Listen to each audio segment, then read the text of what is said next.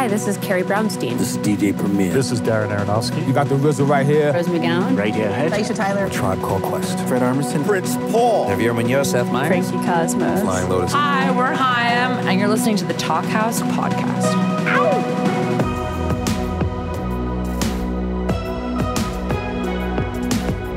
Hello and welcome to the Talkhouse Podcast. I'm Josh Modell. On today's episode, we've got two leading lights of modern psychedelic indie rock, Melody Prochet and Lila Ramani. Prochet is the creative force behind Melody's Echo Chamber, whose evocative name is taken from a dream she once had. Her debut album under the name, which Prochet recorded with help from Tame Impala's Kevin Parker, was released in 2012. She has since released two more full lengths while bouncing around the planet and raising children. The new one, Emotional Eternal, was partly inspired by Prochet's move from Paris to the idyllic quiet of the Swiss Alps. It features assists from members of the Swedish band Dungen, though it's more spare and stripped down than that might suggest, and more spare than her past work, too. Check out a little bit of Alma the Voyage from Emotional Eternal.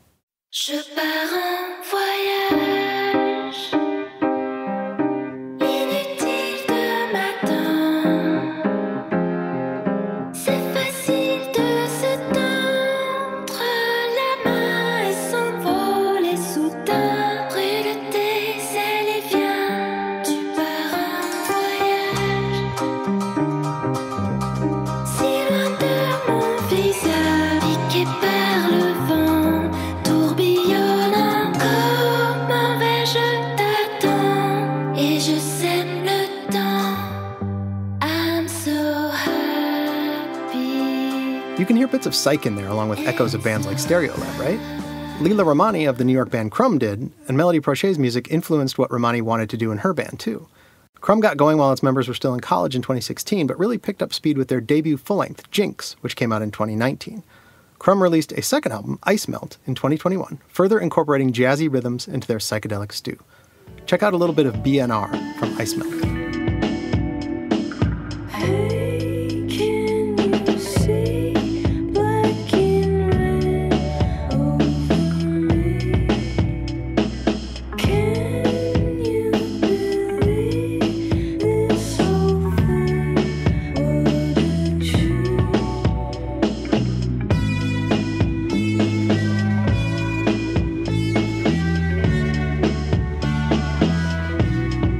Conversation, the mutual admirers talk about their personal lives, including Prochet's side gig as an art therapist, as well as Ramani's childhood growing up near the Gowanus Canal.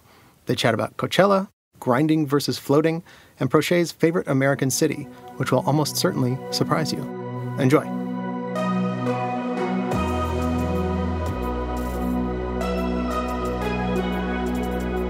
I am kind of following all the the traveling you're doing. The drama.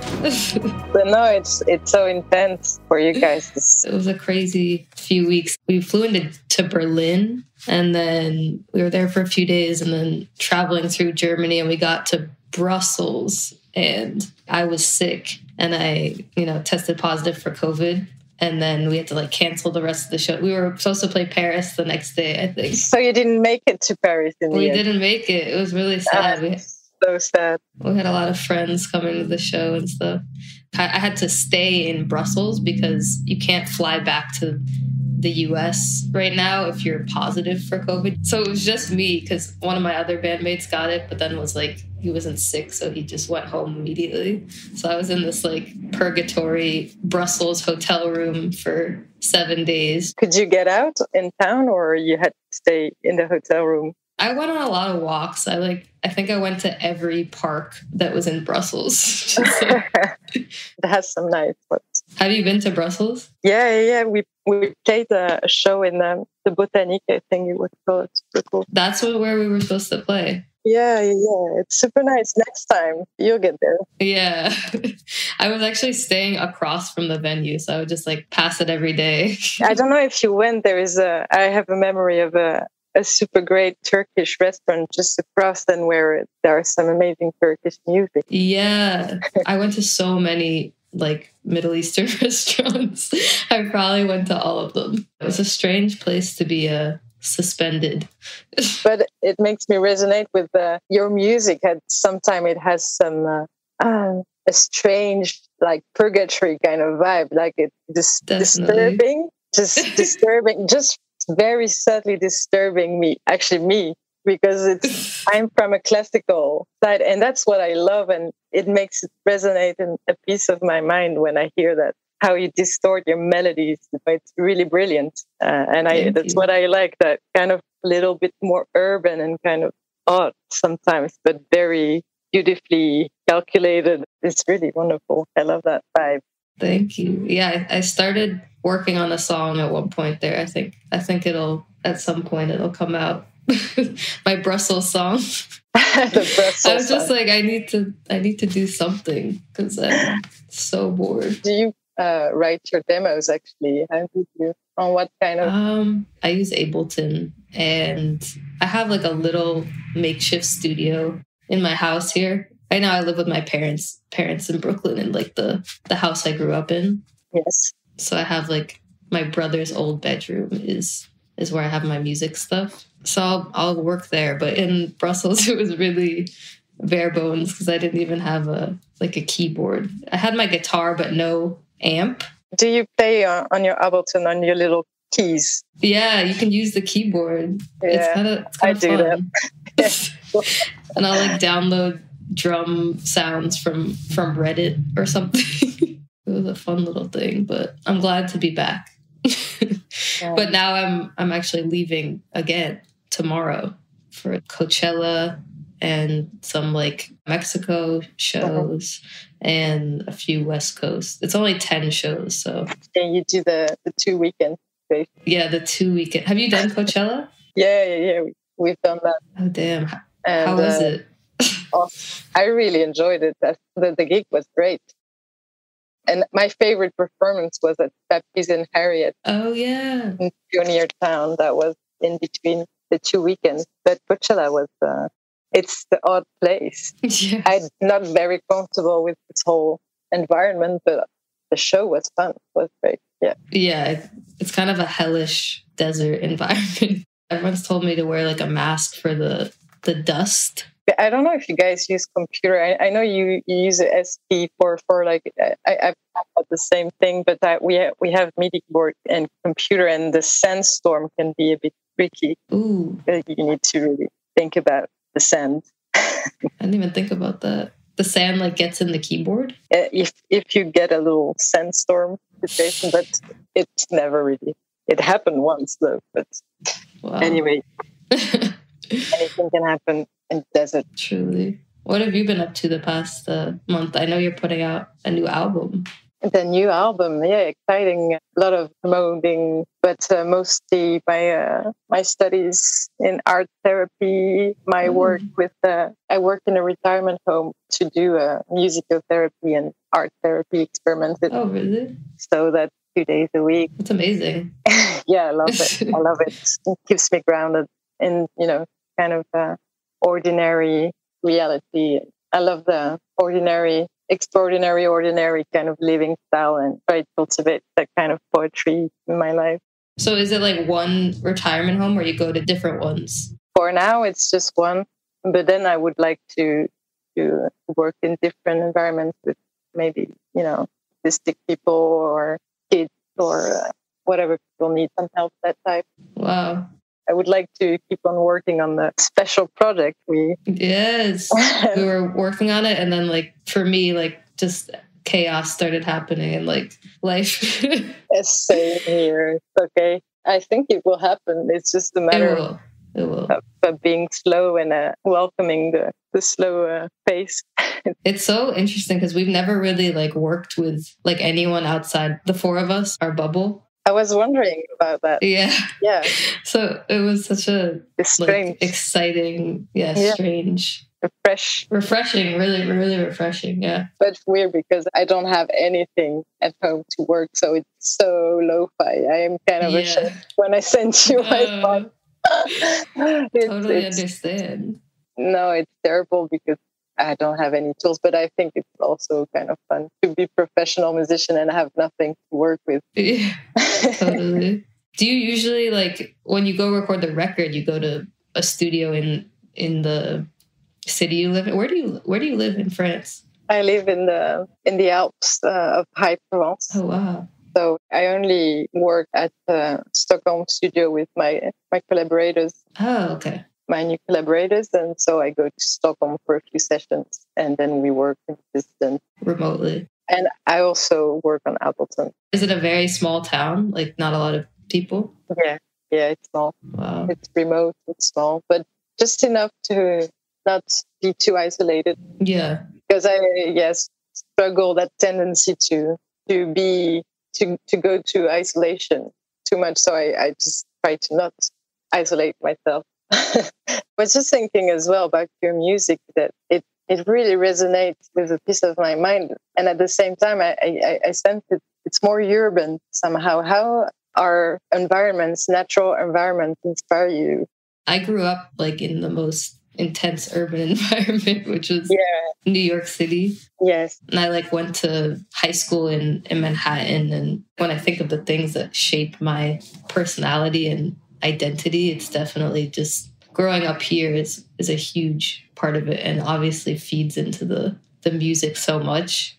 My other band members um grew up kind of outside of the city in the suburbs, but they would come in they would come in here a lot probably. And and then our drummer grew up in California in the Bay Area. We recorded only in Jinx was in New York. We recorded in like the really hot summertime, which, was like, yeah, it was intense. And then Ice Melt was in LA, also in the summer. But I feel like, especially our first EP, definitely was heavily inspired by the neighborhood I grew up in, which is around the Gowanus Canal, which is like the most polluted canal in the country or something. but it's it's really like kind of a magical place. My mom is a visual artist. She works in like right on the canal, so I would go there all the time. Awesome. But the neighborhood is changing a lot, and they're they're about to build like 60 high rises right on the canal, and they're advertising it as like waterfront property. So it's it's definitely a weird in a weird sort of flux right now. But yeah, that's where I where I came from. Where did you grow up? Uh, not far from where- I I moved uh, recently in Aix-en-Provence. Is the Provence, uh, south of France, a Mhm. very tiny village as well. Wow, it's the opposite. Yeah, exactly. That's why it's interesting. Do you feel like that feeds into the music at all? I think it's, uh, it's dancing in my style somehow and sprinted in the music, of course. But but I don't think uh, I, I I think you could just you could just create other worlds and nobody could really tell uh, where you're from actually. So it's kind of both. What's your relationship to Stockholm? I moved there when I I met uh, that the band Dungen. I don't know if you if you know that band. I think I've heard of them. a psychedelic rock band from Stockholm, and I heard their music uh, because my first producer was a huge fan of their work. hmm And when I, I played Levitation Festival in France, in Angers, we just saw each other backstage and we recognized ourselves. And uh, I was looking for uh, for new people to create music with, and I we just really got along super well naturally. So I just moved there for a year. and that was the complete opposite from where I recorded my other record in Australia because it was just like majestic, very epic uh, nature, but very cold, extremely cold and white and pure. And it's just a, like a, a new page, you know. Where in Australia was that? Australia was before, so that was really hot and very warm. Oh, okay. You're saying and then, yeah, Stockholm exactly. was was, it uh, was the complete opposite of that. the Yeah. yeah. My first time going to kind of that part of the world. We just played in um, Copenhagen, which is really close to Sweden, I think. Yes, of course. But felt the vibe like of Scandinavia, Yeah, which I never had. Very clean and like pristine. yeah. Did you travel before you were a musician? I grew up going to Malaysia like every Wow. two years because my dad's side of the family all lives there because he immigrated from there when he was 25 to here, but no one else in his family like left Malaysia. So we, Wow. yeah, we go there. I haven't gone there though in I think almost six years now though because of just the pandemic and and life. But it's a crazy, it's a long, it's a long trip. It's like 24 hours of traveling. and then when I, you know, was in college, I, I went to Europe and drove around. We drove from like Belgium through Slovenia and Italy. Did like a, Euro, a Euro trip. You went to Slovenia. That's big. I just went there actually. oh, really? Yeah, yeah, yeah, last month. I really enjoyed it. What were you doing there? We were just on a road trip. Uh, we went with uh, our children to Belize and then we went to Slovenia. We wanted to see the big caves, uh, the natural caves. They're, they're one of the biggest in Europe. They're in, it's like cathedral of uh, Of caves? yeah. How do you say cave? Yeah, cave. Yeah, caves, right? Yeah, Yeah. but they're like crazy sculptured and they're like incredibly long. And there's a train that go under earth and it's oh wow. intense, really intense. I never heard of that. I did we when we were on that trip we went to Croatia to these like Yeah. lakes. Have you heard of the it's like the Plitvice lakes? Plitvice, Plitvice, yeah, they're so beautiful. We went there also last year. I think we went in the wrong season though, because I've heard you can like swim in them, but it was way too cold. I think they don't allow it anymore because people just polluting it too much. right? Oh, I'm not sure. I'm not that's a sure. bummer. But Slovenia had some great lakes. I, I need to go back. I'm kind of like traumatized right now by travel. I've been having like all these travel stress dreams leading up to the tour. I don't know when the next time I'll go to Europe is. I got these from uh, from visa getting because I needed always visas to go to the Mhm. United States to play, right. and you didn't know if you were gonna have it. So you had to plan a tour, and then you didn't get your visa, and it was canceled. That was the stress, annoying. Oh my god, that's horrible. But you, you just you gotta let go, but still it's stressful. Yeah, every, touring right now is like feels like such a just a risk that's like crazy to take, but so many musicians are just doing it and having their things canceled. When was the last time you did a live a live show? Ooh, that was a long time ago. Uh, I think it might have been. I have no idea. Maybe 2015 or 16. Sixteen. Yeah, it just causes me too much uh, anxiety. I feel you. so, for I, I haven't found a, a way to do it, you know, gently and not care about anything. And I'm just too perfect perfectionist, and I want everything to be under control. And it's of course impossible. Yeah, it also seems like you're pretty busy with with life and stuff. Yeah, my family and and you know, once you've kind of toured the, you- you've done a little tour of it of this lifestyle, and if it doesn't suit me, yeah, I, I think it's interesting to.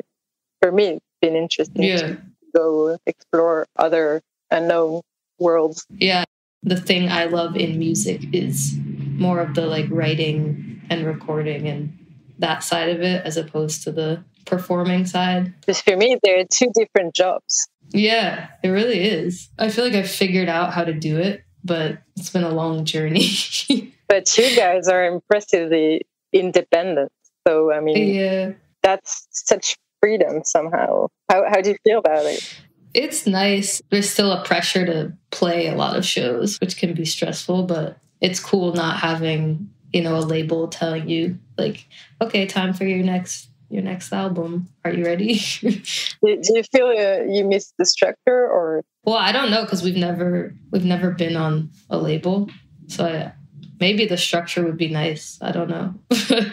But we set all the terms. I think it would freak me out to have to like be on a contract where you had to make four albums or something Yeah. feels like it takes the the magic away from uh, the music but i don't know maybe what are you on a label right yeah, I was on Fat Possum, and my European label Domino me in a four albums contract as well. Uh, oh kind of, but I, I, I hear you. I, I think I just think you can you can just create the situation you want to create. I think it's fine, but it depends what you decide do. If you want to do the whole cycle thing. Yeah, it's it's probably not that like different our process because we still have like managers and stuff like that.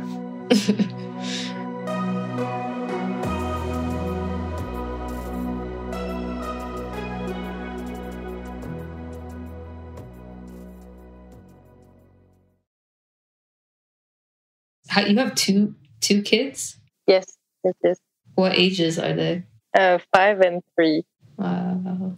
Yeah. So tiny. My boyfriend has uh, two little sisters. One of them is five and one is one. and I, I never had like kids growing up like in my life. So they're like the first children I've interacted with. Such a good age, five. Yeah, it, it's very joyful and very alive, full of life, and that really changed my life actually. Has being a mother changed your music making process or the way you think about music? oh yeah, that's very open ended. It actually structured my uh, my reverie. You know, because you probably do that when you are inspired and you want to make music. It just the time just is different, and you just you can work for a night and kind of get lost or escape and create your other world, and just you know you can almost get stuck in your in your reverie. And um, now uh, with uh, with my kids, I just have okay, I have three hours to work. Yeah.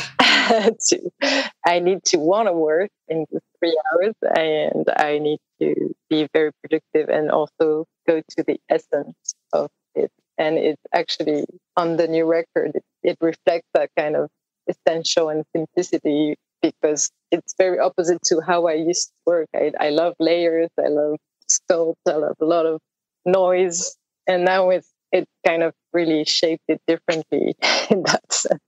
It's more like stripped down. Yeah, more simple, but it's also a it's also something I wanted to to explore because of my last record's delirium. and I just wanted to to take everything out and see how that felt. It felt great. So it could that could go either way if you have like limited time to work on music. Sometimes for me that actually like motivates me to to do it more as opposed to having so much open-ended time. Mm-hmm. but i'm sure it's i mean i would be exhausted. I don't know if i could do i could do what you're doing well surely you would feel how old are you lila how old? I'm yeah. um 27 27 about to turn 28 in june how about you? I'm 34. 35 actually. I just turned 35. So what what's your guys' future months looking like? We're taking a, a break from uh, touring, thank God, after this this one. So I think we'll have the whole sum, summer and fall to work on some new music, which is exciting. We're maybe gonna go like go somewhere in the country or something and right, which sounds mm-hmm. that's like ideal. And where are you going to record? We're trying to figure it out now. Like economically, it makes more sense to do in in New York or LA because three of us live in New York and one of us lives in in LA. But it would also be nice to to go somewhere and get get out of the hecticness of the of the city for like a week. So we'll probably jump around, do one in New York, do one in maybe upstate New York and see what happens. We don't have much of like a, a plan right now, just kind of open ended, working on stuff, seeing where it takes us, which is a good feeling. yeah, sure. Do you feel like the city has kind of uh, has become more hectic? It's so what I'm used to that I, I almost don't even register it anymore. But then when I go somewhere else, I'm like, oh, New York is insane. That's so interesting. Yeah. People are are just running around, just on the grind. Everyone is like grinding so hard, and they're and my I feel like my um, lifestyle is much more just floating and you know not that not not on the grind always. Or or very intense periods of working and then just relaxing. So it's kind of it's weird to to be here sometimes. That's why i like la a bit more because feels like people there are more floating, floating around. Do you like the the floating?